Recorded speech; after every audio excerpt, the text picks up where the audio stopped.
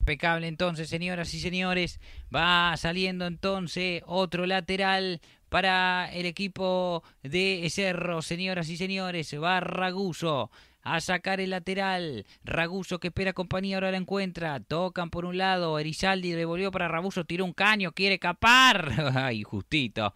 Y justito consiguió Álvarez, va saliendo, tira el pelotazo largo para Rodríguez. Rodríguez para Álvarez. Álvarez que quiere, pero no puede. La pelota que rebota le va quedando chopitea. Va Cerro, tocó largo y está. Se la pincha, acordar a gol. Gol. Golazo. Gol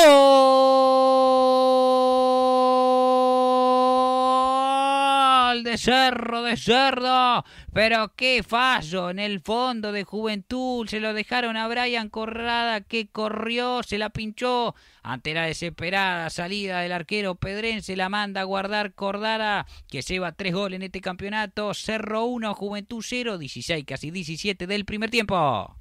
El pelotazo para arriba de Nicolás Rodríguez Petrini. La recuperó en la zona de la mitad de la cancha Cerro.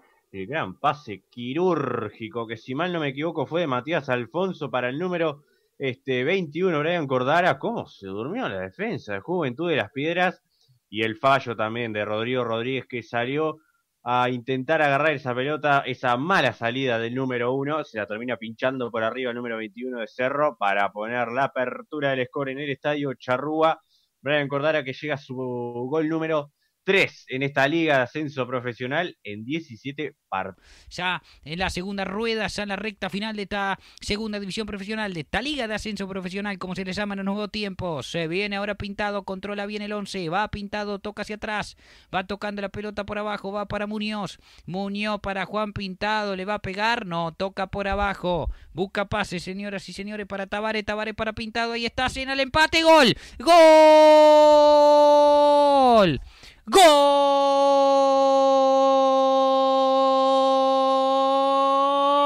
de Juventud de las Piedras. Cena, cena, le pega al arco y adentro.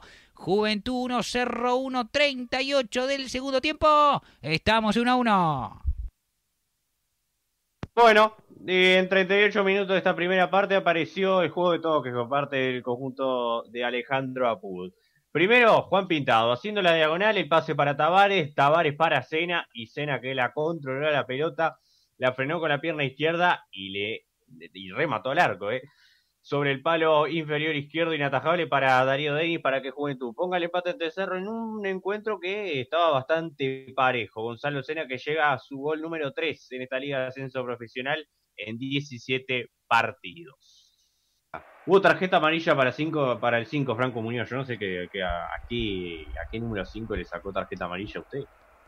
Sí, usted sabe que eh, no, fue algo en el banco con Erizani. Viene el centro del área. Ahí está el gol de Cerro Cordar. Ahí está. Gol. Te dije que iba a pasar algo más. Gol. Gol de Cerro de Cerdo. Cordara agarró una pelota bollando. Se durmió el fondo de Juventud y Cordara escapa del arquero y la manda a guardar. Cerro en la hora pone el 2 a 1. Cordara al gol, qué buen pase de Chopitea que mandó una pelota larga al área, parecía que despejaba la defensa o el arquero de Juventud, se durmieron, la dejaron posando y habilitado. Cordara la manda a guardar, Cerro 2, Juventud 1. Y mirá cómo llega el gol de Cerro, eh. Creo que cuanto menos lo, merecía el Villero, cuanto más Juventud se iba hacia el arco de Darío Denis, acá quedó todo demostrado que igualmente si vos no tenés eficacia en un arco rival, después goles cerrados son goles en contra.